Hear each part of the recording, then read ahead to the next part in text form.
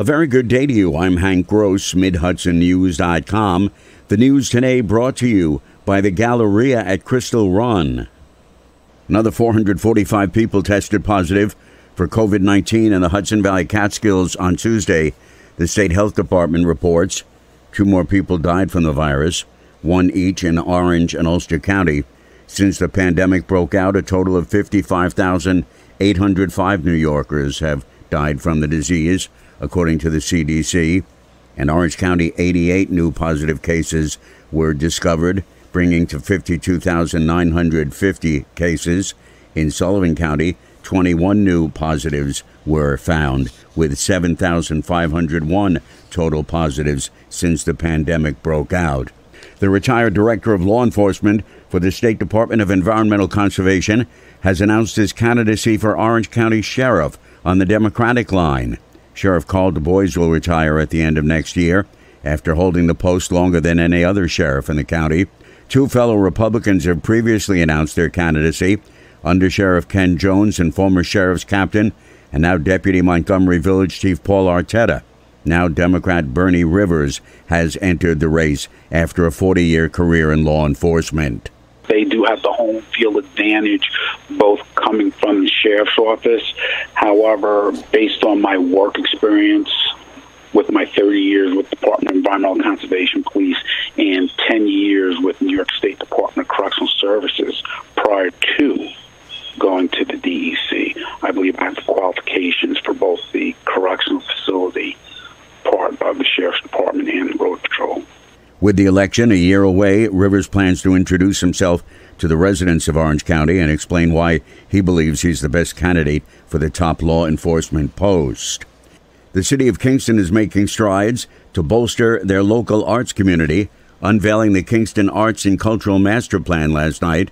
The multifaceted plan was a joint effort between local residents, the Kingston Arts and Cultural Affairs Office, and Lord Cultural Resources.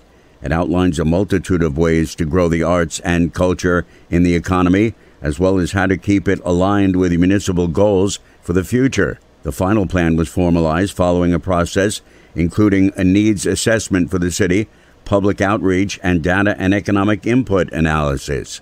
Kingston has the largest arts and cultural share of the city's economy at 6.5%. That's larger than both Troy and Poughkeepsie officials say. Additionally, $35 million of out of town visitor revenue comes from the sector, and the city's cultural assets garner $3.3 million in annual tax revenue. Mayor Stephen Noble says this has led to arts and culture being a major employer for the city. We now recognize that over 1,600 jobs um, here in the Kingston community are uh, based around arts and culture. Uh, more than $57 million in annual wages are based um, around those jobs. The mayor said, though, that the economic impact is not the primary significance of the arts and cultural community. Director of Kingston Arts and Cultural Affairs, Adriel Farr, says arts and culture are the building blocks of community in Kingston. More news right after this.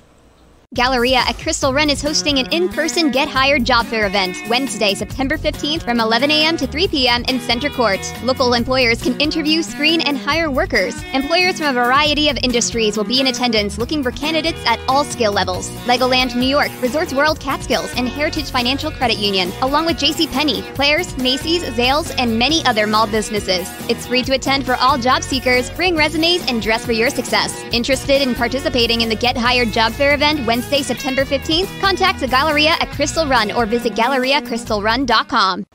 Staff shortages at Vassar Brothers Medical Center have drawn the attention of State Assemblyman Jonathan Jacobson.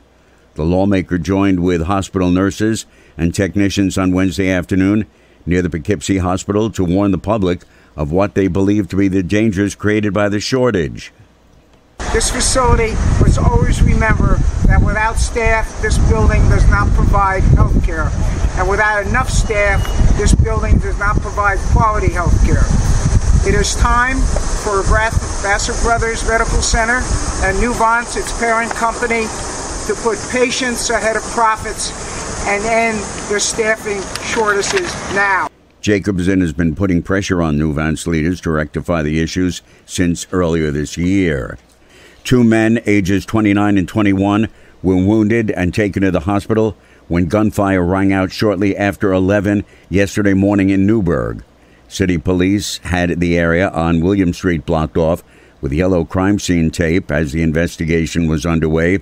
A police source said an attempted robbery had gone bad, resulting in bullets flying. Suspects in a Tuesday morning gas station robbery were apprehended by Newburgh City Police. According to Chief Anthony Geraci, the incident began just before 1 a.m.